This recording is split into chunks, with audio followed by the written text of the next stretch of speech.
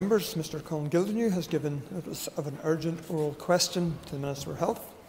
I would remind members that if they wish to ask a supplementary question, they should rise in their place continually to indicate they still have a question to ask.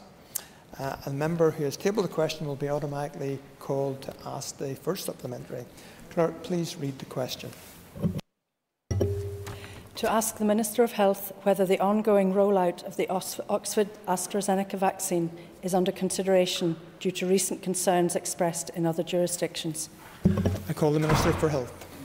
Thank you, Mr Deputy Speaker.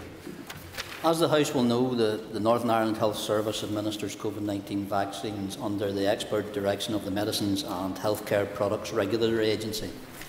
The MHRA is the internationally respected UK regulatory body for medicines and approved vaccines for public use only when it is satisfied of grounds of safety and effectiveness. Whilst my department is aware of the decisions of the public health authorities of some other jurisdictions to suspend the use of the AstraZeneca vaccination as a precautionary measure, in this instance I will again be led by MHRA experts. They are very clear that members of the public should continue to come forward for their vaccination.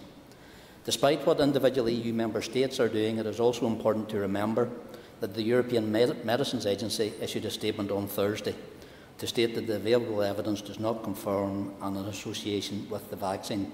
It was also very clear that the benefits of the vaccine outweigh any risks. The World Health Organization has also stated that countries should continue to use the vaccine. I do recognise, however, that any talk over the safety of vaccines can be very worrying. So I want to take this opportunity to reassure everyone listening that the evidence as reviewed by the MHRA shows no correlation between the vaccine and the reported uh, events of blood clots. To date, 11 million doses of the Oxford AstraZeneca vaccine have been administered in the United Kingdom. This includes 310,000 doses in Northern Ireland, and the evidence available from the UK's very large data set shows no unusual correlation between receiving the vaccine and the frequency at which blood clots occur naturally. I would therefore urge the people of Northern Ireland to keep their appointments. In line with MHRA guidance, the rollout of Northern Ireland's vaccination programme will continue. And as you may now be aware of, as of this morning, we have now expanded the programme to everyone aged 50 years and over. And I can confirm that within the first three hours of today alone, a further, a further 30,000 people booked vaccines. That is very reassuring, and we should take it as an indication that the vast majority of the local population have confidence in the vaccine, and we're now looking to add additional slots. The Oxford AstraZeneca vaccine is helping to protect the most vulnerable in our community from COVID 19, saving lives and reducing hospitalisation levels. I would urge everyone to look beyond the actions of others and have faith in the extensive evidence the UK already has. The vaccine works, so I would urge people to keep coming forward and ask all in this House to support me in this call. I call Colm Gildernew for supplementary. Agat Las Cancolia and uh, Gorme Agat to the Minister for coming today and for his answer thus far. Um, and I suppose, Minister, I'm sure that you will share my hope that everyone who is eligible for the vaccine will get that and will be able will be accepting the vaccine when, when they get uh, it it, it, to their cohort. And I'm delighted to say that I myself fall into that 50 to 59, and I'm one of those 30,000 who has booked the vaccine for this week, and I will be delighted and I will be ensuring it's an appointment that I will not miss. So my question then is just what uh, plans you have, Minister, to, in, in order to uh, maintain public confidence, what plan you have to communicate the safety of the vaccine at this time. Gormaga. I, I'm, I'm a great believer, and, and the chair of the committee will know this, that actions speak louder than words.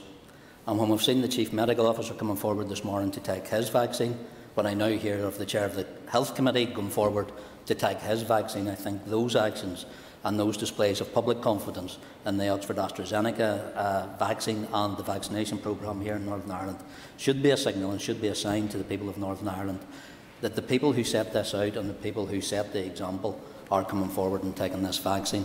Unfortunately, I must say to the Chair that I don't fall into that cohort yet, but I'm looking forward to, to the stage that we can move, the, the stage where we can move down to the next age cohort, because I can assure the member I'll be on that line as well. I call Pam Cameron. Mr Deputy Speaker, and uh, I very much welcome the fact that the Chair of the Health Committee has booked his vaccine. I hope it's not going to clash with his committee on Thursday morning. Um, thank the Minister for the answer to a very important question and I, I very much welcome the, the success of the rollout of the vaccination in particular in Northern Ireland and I'm delighted that we are taking an evidence-based approach to um, the concerns around it. And obviously both UK Medicines Healthcare Products Regulatory Agency and European Medicines Agency have reiterated their support for the AstraZeneca vaccine highlighting that the benefits continue to greatly outweigh those risks. So can I ask the Minister if he agrees that, that politicians need to be very mindful of their language and the effect that that may have on public confidence and they shouldn't really be allowed themselves to be dragged into any anti-vax um, arguments that could, could potentially harm any uptake in the vaccines? Um, and I, I thank the member for, for the point that she makes and I would ask all members today to choose their words very carefully. Uh, we are all lay people after all. We must remember that the rash uninformed words uh, of some could have consequences and, and actually give fuel to the fire of those anti-vaxxers. The assessment of the safety and efficacy of vaccines, I believe, is best left to the professionals and the experts, and that's why we have always followed that evidence-led advice that the, the Chair of the Health Committee rightly acknowledges. I call Justin McNulty. Gurma Yogurt, that's Cohen Corla. Can I thank the Minister for coming before the House today? And as I was speaking to you outside, Minister, um, I, I recognise and appreciate the huge success in the rollout of the vaccination programme. A huge credit and huge thanks to, to all the people involved in delivering that. And the level of security that has given so many people, so many families is phenomenal and cannot be underestimated. But, Minister, given the success of that vaccination rollout, when do you feel and when do you and your executive colleagues feel you'll be in a position to recommend the recommencement of youth sports? of non-elite sports. It's been too long since too many children have had a ball in their hands or a puck at, their, at the end of their stick or um, youth sports needs to recommence and non-elite sports. When can that happen, Minister, given the success of the vaccination rollout? I, I know it's an issue that the member is very passionate about. Um, the member will also know that the, the executive is due to meet tomorrow in regards to the discussion of regulations and I'm sure the member uh, will well know that I don't make those discussion, dis discussions public or any of our recommendations public until the executive has had a chance to debate them and decide as a whole. I call Alan Chambers. Uh, Minister, it's uh, perhaps disappointing that you've been called before the House this afternoon in what is undoubtedly a period when demands on your time must be quite considerable. It is clear that there would be little evidence to suspend the current successful vaccination programme in the light of concerns that have been dismissed by not only all the local and national experts but also by the World Health Organization. I could only guess at the major public concern that a suspension would cause those hundreds of thousands of our citizens who have already received their first dose of the AstraZeneca vaccine. Can the Minister reassure all those who have availed of the vaccine to date that there has been no evidence of anyone locally been placed at greater risk of developing blood clots as a result of receiving the Oxford vaccine, and that rather than cause for concern, there is only cause to celebrate the protection it offers against the COVID virus. Thank you. I, I the member rightly acknowledges the, the, statement from the World Health Organization, uh, who have actually come out with a further statement today, uh, where they appeal to countries uh, not to pause vaccination campaigns. The World Health Organization said its advisory panel was receiving reports related to the, to the shot and would release its findings as soon as possible, but it said it was unlikely to change its reg recommendations. And the World Health Organization has also said, as of today, there's no evidence that the incidents are caused by the vaccine, and it is important that vaccination campaigns continue so that we can save lives and stem severe disease from the virus, and that comes from World Health uh, Organization spokesperson.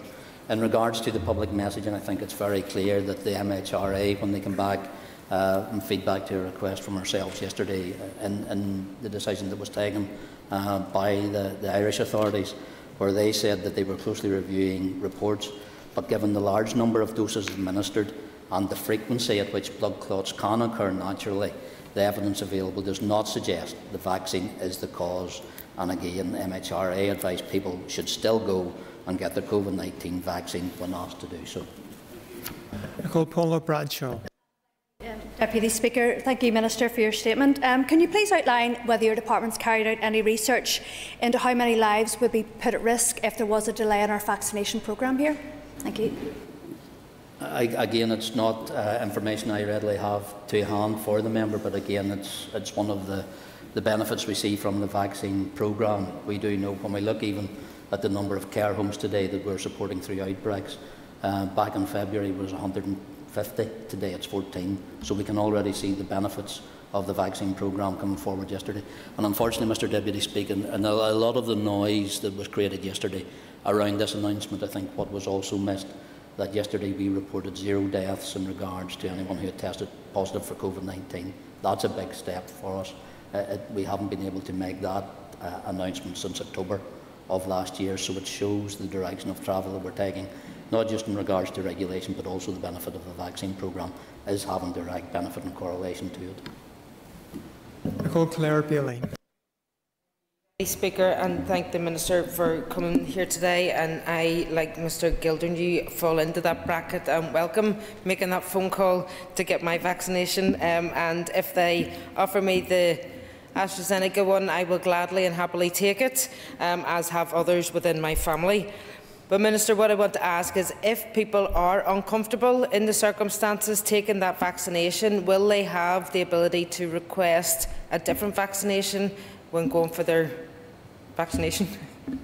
Oh, I, I understand. There's not that opportunity to pick and choose vaccines within our current programme. And actually, where we are seeing at this moment in time, due to the supplies of Oxford AstraZeneca, we are actually migrating some of our regional vaccination centres across to Oxford AstraZeneca as well. So there will be a dual process where some centres will be running a second dose of Pfizer while still running first doses of Oxford AstraZeneca. But again, I welcome the member's commitment and her thankfulness for our vaccination programme because we should also acknowledge the large numbers of our health workers and the volunteers who are coming forward to deliver uh, this extensive programme across Northern Ireland. I call Jim Allister. I congratulate the Department on the uh, exemplary rollout of vaccinations. We've heard many talks, many, much talk during COVID about the need for collaboration on a cross-border basis. Can I therefore ask the Minister how and when did he know that the Republic of Ireland, it turns out, have issues with this vaccine? Um, I, I, thank the member um, for his point, and while not wanting to make a political issue out of this, uh, the first I became aware yesterday was through uh, the media. Um, so I have asked uh, my Chief Medical Officer to review the terms of the Memorandum of Understanding um, because I, I, think it was disappointing that that's how, how we, had, we found out. When we took the decision to announce that we would be continuing, I did uh, communicate that to my counterpart in the Republic of Ireland, Stephen Donnelly, so he knew of the steps that we were taking. I call Jonathan Buckley. Minister for coming to the House today. I have to say I have been increasingly concerned as to the amount of misinformation and frankly fake news that has been circulated in Europe in relation to the AstraZeneca vaccination. It appears for some that we have moved from vaccine nationalism into the dangerous territory of vaccine jealousy. I believe that Friday past, the Taoiseach Micheál Martin was in contact with AstraZeneca calling for more vaccination. So would the Minister reiterate the clear strong and consistent scientific and medical evidence surrounding the safety of AstraZeneca vaccine? And would he agree with me that it is important that governments tread carefully in politicising a particular vaccine, which will sadly only result in further delay to getting that vaccination to the prospective uh, constituents? Mm, I, I thank the member for his comments. I, will refer back to comments that I've already made in regards from the supporting uh, commentary that has been received uh, not just from the MHRA but also from the World Health Organization in regards to the dangers of countries and, advising countries not to pause vaccination campaigns in regards to uh, the difficulty that that brings and just also the importance that vaccination campaigns continue so that they can save lives and stem severe disease uh, impacts from, from the virus itself. Um, also, the member will be aware that uh, the, the European Medicines Agency, as I said in my opening comments, also has given its consent uh, to the use of Oxford AstraZeneca. But we have seen uh, many challenges, um, political, from across a number of nations in regards to the utilisation of Oxford AstraZeneca. Uh, my department uh, and myself, we've always been guided by the expert advice that comes from the MHRA, and that comes from the initial guidance that we got that these vaccines were were, were right to use for the, the purposes that they were designed for, and also from the intervals between first and second doses. And so far, the MHRA uh, advice and guidance, I think, has stood us and the United Kingdom in good stead. I call Carál Ní Chuilín. Uh, last Colin, I thank the Minister uh, for being here today. Um, is he aware of how many cases of thrombosis have been recorded since the start of the vaccination programme? And and also just to say that I too am in that age bracket and I will, I will be getting my vaccination hopefully soon and hopefully in Belfast. I have been offered to go to Fermanagh, but there you go. Well, what, what, I wouldn't have believed that, Carál, that you were in that age group. But apparently, um, but apparently, according to one of your colleagues, Fermanagh is a good day out for, well, he, I think he said it was a good day out for unionists, but I, I think when the, when the travel opportunity does, does open up, I'm sure if she, she wants to go to Fermanagh for the vaccine, I'm, I'm sure they'll be willing to, to support her. But in regards to, to the question that they, she does put, as of the 14th of March, MHRA has received less than five uh, reports of blood clots and as the member will know, being a member of the Health Committee, less than five is, is, indicates a number that we cannot report. I call Matthew O'Toole. Uh, thank you, uh, Mr Deputy Speaker. I, I, echo all those who have um, uh, underlined the importance of people signing up for their uh, vaccination uh, uh, when, it, when, their slot comes. I'm obviously a couple of decades away from that, but I won't rub that into to members. It's very important that we all, um, when, we, when we do get called, that we take it. I just wondered if the um, Minister could give us, since he's here in the chamber, give us an update in terms of, it's great today, really welcome news that um, uh, bookings have opened to over 50s, um, but if that goes well, can he give us an indication of when he thinks the entire adult population um, uh, uh will have been offered a vaccine, and also an update on supplies of other, obviously it's, I, urge people to take whatever vaccine is available to them, whether it's Pfizer, AstraZeneca or anything else, but whether things like the Johnson & Johnson vaccine and some of the other supplies which are coming online, if he has an update on, on the deployment of those in Northern Ireland. And I thank the member, I know from the initial updates I gave the House in regards to our vaccination programme, being part of the UK, we were part of that forward buying of seven different um, vaccines. At this minute in time, MHRA have approved the two, which is the Oxford AstraZeneca and the Pfizer, so those are the two that we're using. We did receive a significant uh, delivery uh, last week, which has been now dispatched around uh, our GP centres and also our, our regional vaccination centres. We do hope and ensure the member is aware that of the 29th of this month, we will be moving to open uh, another regional centre at the SSE Arena, which should also coincide, um, I hope, with the greater availability of moving further again into a different age cohort of those who are eligible uh, to pick up and be eligible to, to be part of our vaccination programme, which the member rightly indicates, I think, is a, a great testimony uh, to the people working in the National Health Service and the volunteers that are coming forward. Mr Deputy Speaker, to receive 30,000 bookings in the first three hours of this morning for opening up to the 50, over 50s, I think shows the confidence, not just in the vaccines, but also the programme that we're delivering. I call Rachel Woods. You, Mr um, Deputy Speaker, and I thank the Minister for coming here today, his answers so far and those involved in the rollout of the vaccine. I'm not in the new cohort, but I do look forward to my turn. Um, I have been contacted by a person in my constituency regarding accessing the vaccine who is in Northern Ireland temporarily from Scotland and cannot return due to restrictions. He's eligible because because of his age, but he's been told that he's not entitled to a temporary GP registration or vaccine appointment and isn't a permanent resident in Northern Ireland but in Scotland. Can the Minister outline what advice I can give him to get him his first jab? Um, I think I think the member and look, what we are seeing is a number of peculiarities, specifically like that case. If she wants to forward the specific detail to, to my private office, we'll get a response. But due to our booking nature, one of the things that we are insisting that anybody who has receives the vaccine is actually a medical insurance number.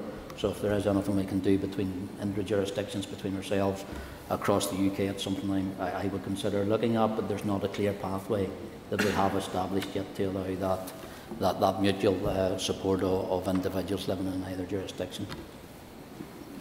I call Órlaithí Flynn. Alas Concordia. Um, I also thank the Minister for, for coming here today and answering all the previous questions. In answer to a question um, just asked earlier, um, I welcome the fact that the Minister is seeking to strengthen that memorandum of understanding with the South. Um, so hopefully those communication issues, you know, you're not facing that into the future.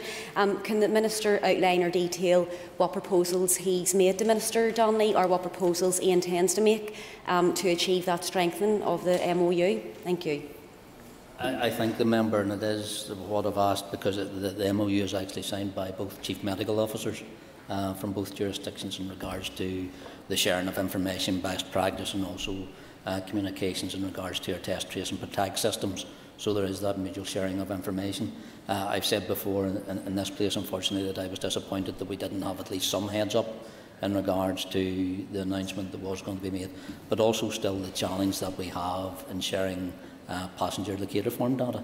You know, that is now a serious issue, not just, and it's something that we've been continually raising, but it's also something that's now becoming an issue from England, Scotland and Wales as people travelling through uh, Dublin Airport using the common travel area and then either being asked to or avoiding uh, using the quarantine hotel uh, process that's been set up. So it's about that ongoing um, conversation that we are having. Most of it is productive, most of it is positive, but in regards to the latest announcement, I think it showed a weakness that I've asked the Chief Medical Officer just to make sure that we, we look to the future to make sure that these sort of announcements are, are not blindsided uh, on in either jurisdiction. And that concludes this item of business. And I would ask members to take their ease for a few moments before we return to the debate on the second stage of the Severe uh, Fetal Impairment Amendment Bill. Members take their ease.